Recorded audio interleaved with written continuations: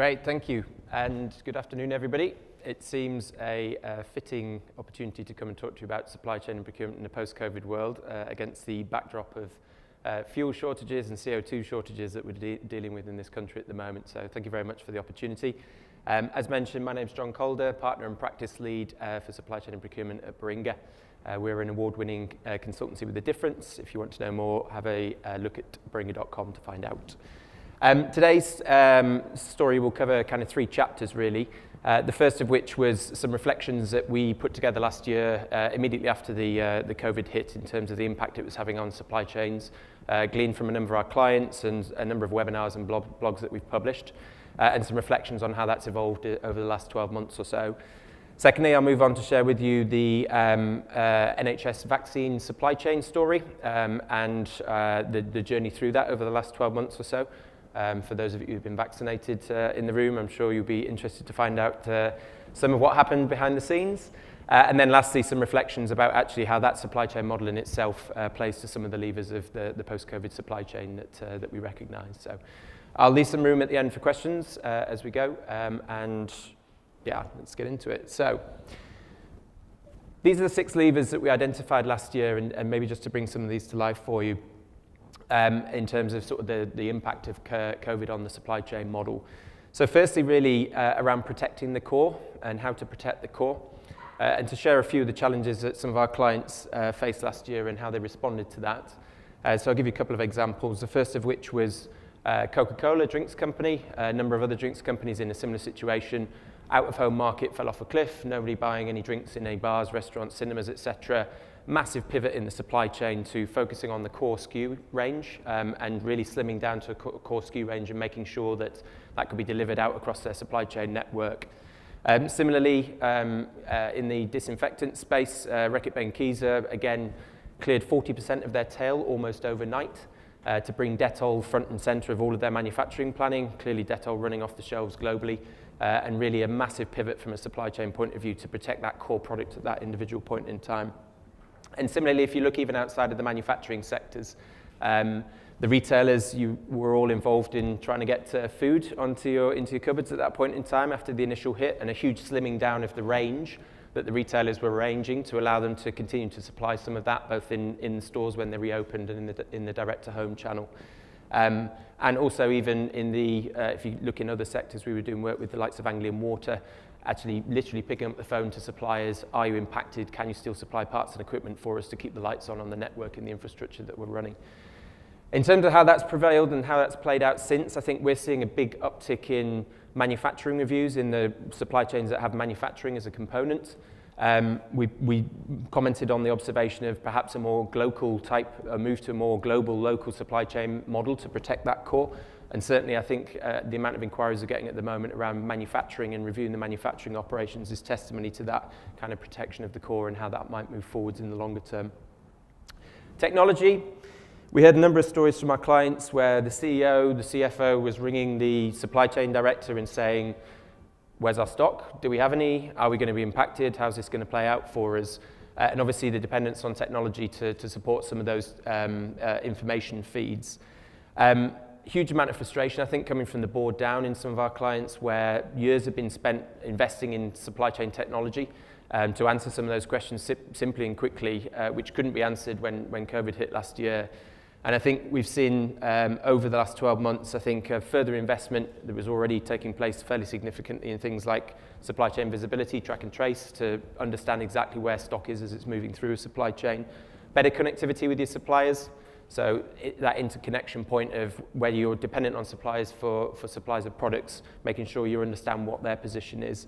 Uh, and then I think increasingly what we're seeing, and again, this already predates COVID, but a big shift towards looking at automation in the supply chain, particularly warehousing operations, opportunities in transportation, and some of the, the more back office functions as well. And again, similar to manufacturing, a, a big sort of uptick in interest in that space at the moment. Um, direct to consumer and e-commerce, um, again, huge pivot overnight. I'm sure most of you in the room ended up buying stuff online that you didn't ever anticipate to buy before. You've got some of the big manufacturers, the likes of Unilever, doing direct-to-home ice cream. Whoever thought we would see that pre-pandemic, but shops were closed, people weren't buying, couldn't get into the supermarkets, and looking at innovative models for, for accelerating D2C uh, and e-commerce. Um, and similarly as well, looking at the, the retailers, uh, particularly in the UK market, huge pivot to the, um, to the, uh, the in-home and the home delivery network. We did a lot of work with one of the retailers there, restructuring their entire supply chain to support that.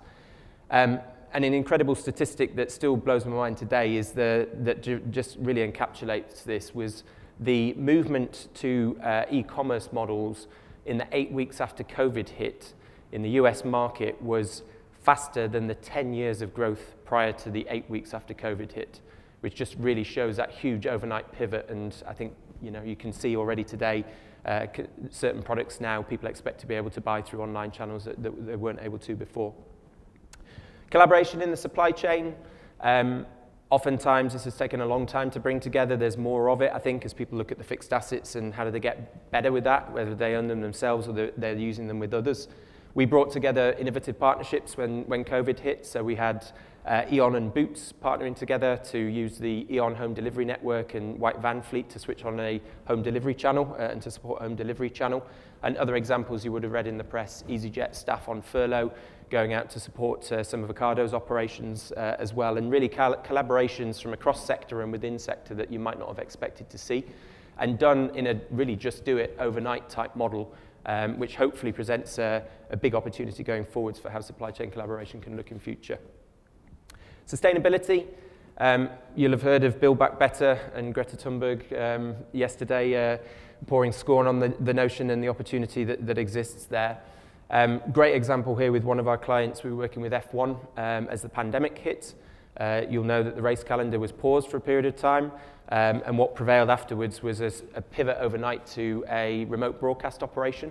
F1's commitment is to be net zero by 2030, and 40% of their footprint is their logistics operations to move that caravan around the world of broadcast operations and the team's equipment uh, and the teams themselves, of course.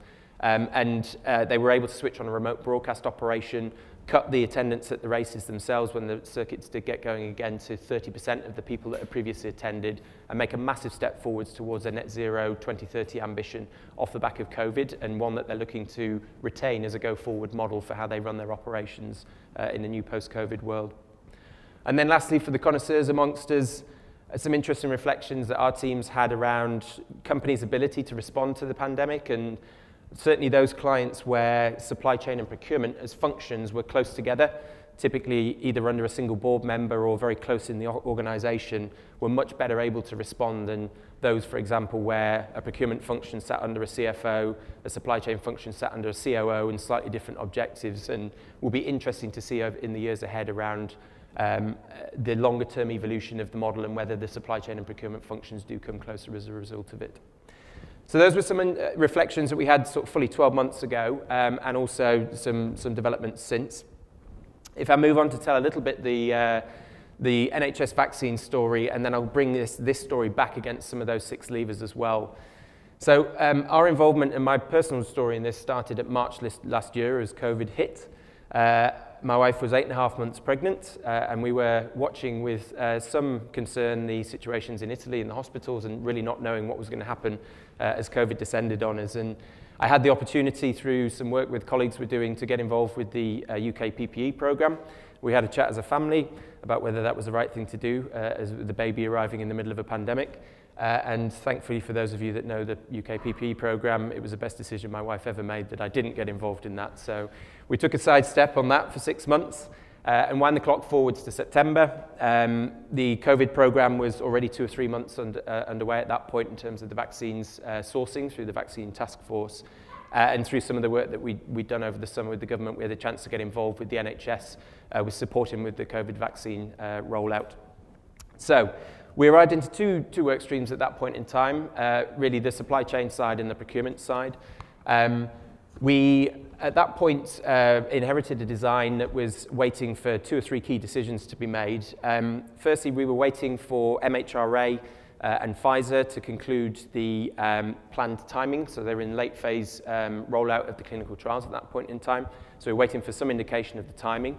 Um, we were waiting for some indication of the handling requirements. You will have already read in the press the challenges of the Pfizer minus 70 vaccine. We didn't know what the handling requirements and restrictions were going to be on that. Um, and we were waiting to find out in terms of the NHS whether the GP network would have a role to play in rolling out the, uh, the COVID vaccine program. They were anticipating a huge winter spike in flu uh, at the time and couldn't commit to that uh, as little as five or six weeks out from go live. So that left us with a pretty open supply chain design. Matt Hancock took to the lectern after some Pfizer leaks uh, in the press around the readiness of the product uh, in late uh, October uh, and committed that the NHS would be ready for a 1st of December go live.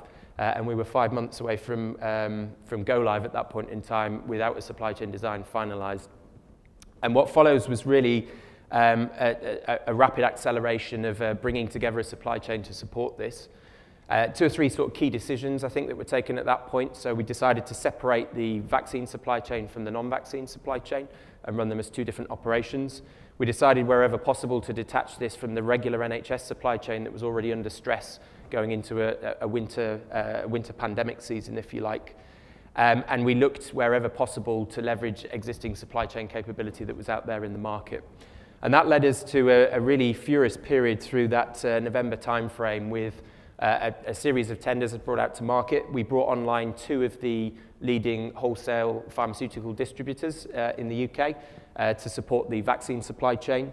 Um, warehouse space was at a premium at this point in time. This is just before COVID, uh, just, sorry, just before the Brexit deal was done. Not a lot of warehousing space across the country. Managed to find a 3PL partner with a warehouse location in Coventry to support the non-vaccine supply chain.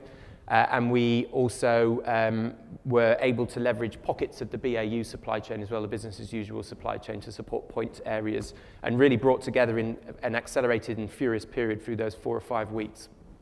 Some of the challenges you can see down the bottom, if I jump to that, this was without precedent.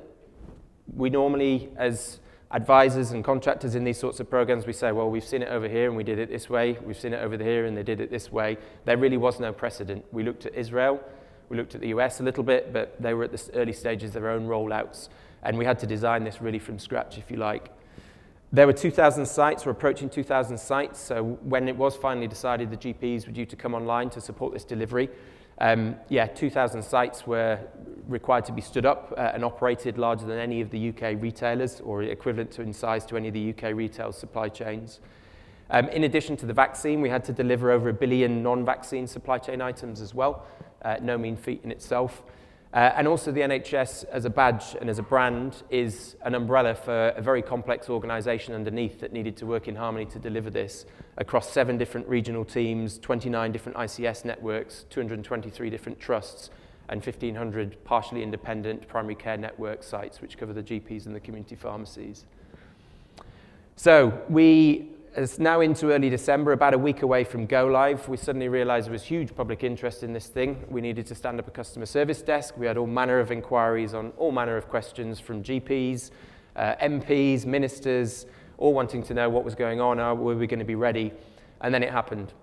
8th of December, you'll all remember it. You can see the screenshot over the, on the right-hand side um, of Margaret Keenan receiving her first Pfizer jab, first person to receive that anywhere in the world. And the uh, world's media descending on that hospital in Coventry. Uh, we were asked that morning to, to dial in and watch BBC News, and I'm not afraid to admit there was a lot of tears in the house across the programme uh, as that, uh, that first jab was administered that day.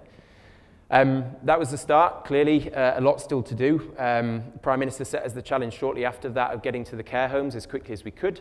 We never expected to get to care homes until AZ came online. AstraZeneca um, vac vaccine was a much easier vaccine to handle, um, but not due to, to go live until January.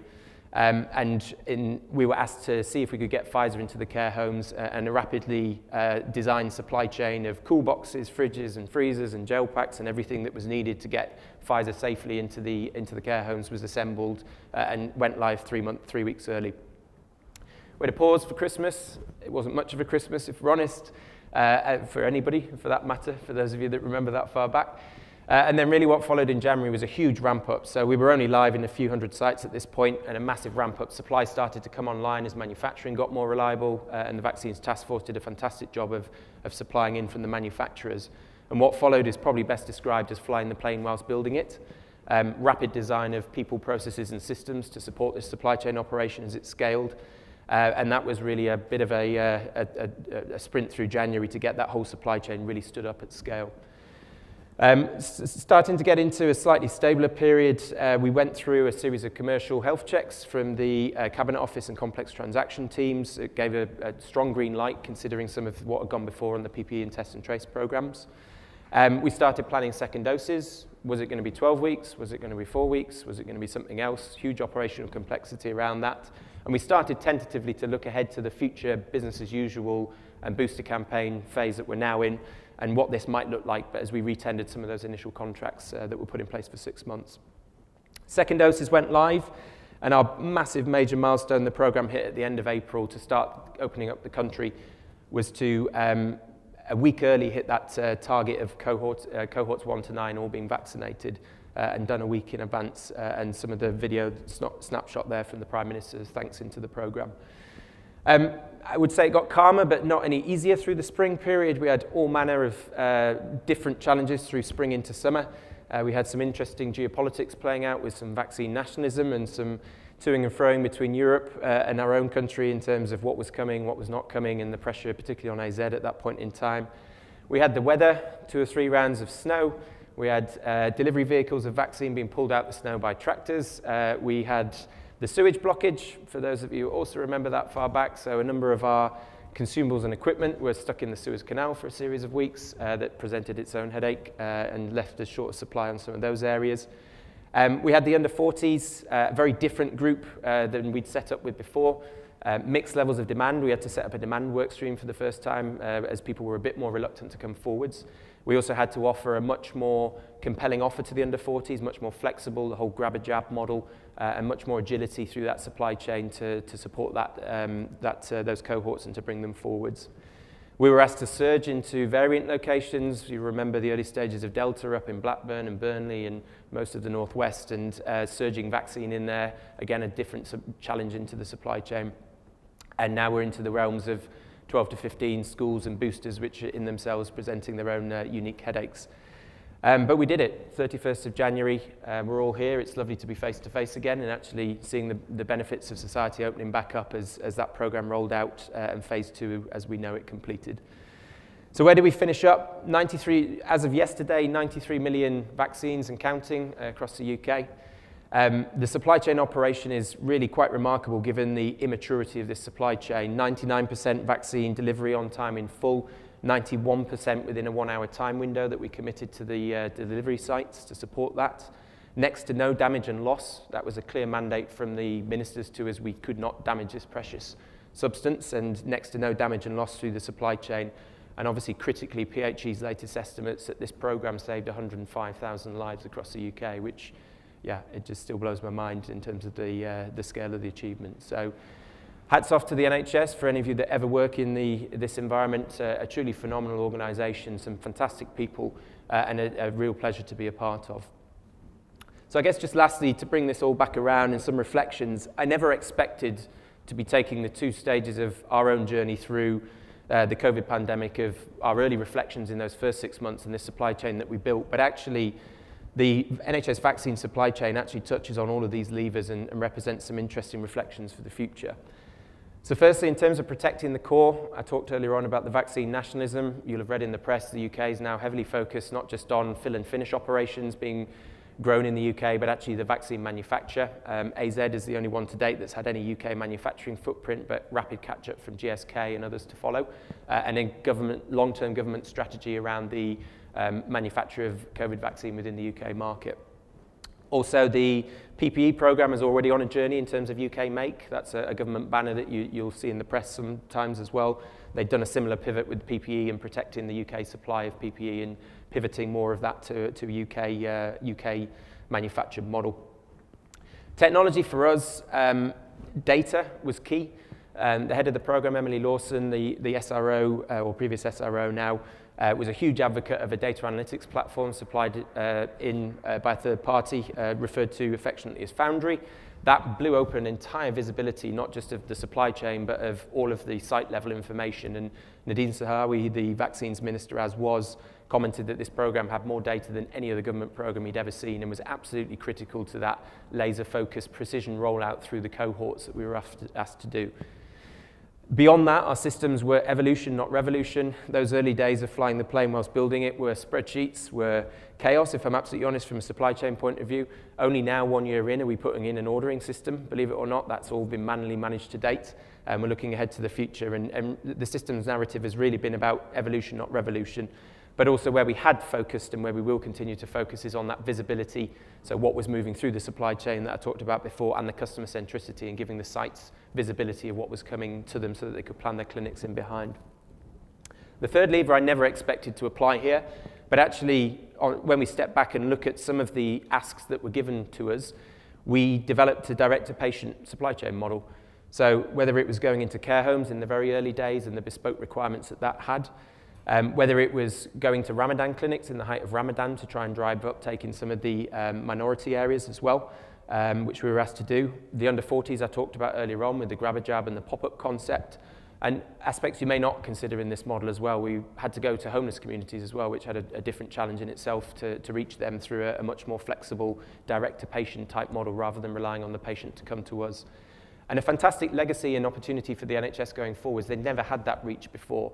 The NHS supply chain today ships to hospitals. It doesn't even go to GPs. That's an independent model. So the NHS has reached further with this programme than ever before in terms of its patient reach and a fantastic legacy and opportunity for, for the programme and for the NHS supply chain going forwards. Collaboration existed throughout this. We had two competitive uh, medicines wholesalers working in tandem, um, uh, at times uh, semi-harmoniously, I think, but in general pulling for the greater good.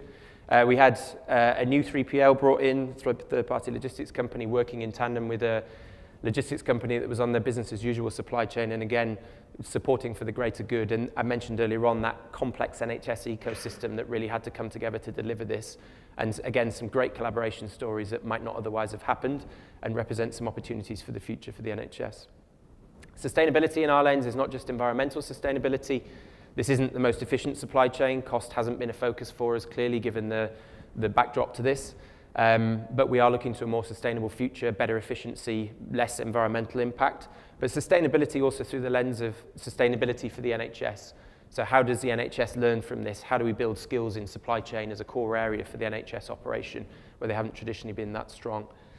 And then lastly, the reconnecting supply chain and procurement. For any of you familiar with the NHS ecosystem, um, the supply chain model there is uh, governed by an organisation called SCCL. Um, they operate both the supply chain and the procurement side, traditionally over-indexed on procurement, largely a big buying organisation that it's done very well, and some key learnings, not just through the vaccine programme, but also PPE uh, and test and trace before it for where that supply chain and procurement operation through SCL's, SCCL's model can come together more effectively in future. So that's our story the three chapters I promised to share with you, the reflections on the post-COVID supply chain, the uh, NHS uh, journey through that, uh, and then actually the NHS through the lens of those levers to bring it to life. So I will pause at that point and invite any questions. Well, thank you very much. Um, one of the things that people will be, will be thinking whilst, whilst watching this is this is probably, I don't want to give it the label, but probably one of the most difficult logistics and supply chain challenges has ever been certainly successfully attempted. Um, but what can CPOs of other organisations take from this to improve their own operations? Good question. I mean, in part, the six levers points to, to some of that, but I mean, I would say we use the term a lot within the program, agility and resilience. And it is very difficult, I think, to deliver both through a supply chain, both a resilient supply chain that can stand up to everything that has been thrown at this, but the agility to reach those some of those direct-to-patient uh, models that I mentioned just now. And I think for the supply chains of the future, everybody's been buffeted on a day-in, day-out basis by different crises. You need that resilience. And on the other hand, customers are asking for more and more in terms of the agility and the service offer that the supply chain offers. So I would say in a nutshell, agility and resilience is a great legacy from this. Others have attempted it, others have been successful from it, but that to me is the, the supply chain of the future uh, to stand or everything that we, we're seeing today. So. This is a bit in the weeds, I just think it's interesting. Um, we had Jacqui Rock speaking yesterday mm -hmm. who ran Test yeah. and Trace, or runs Test and Trace.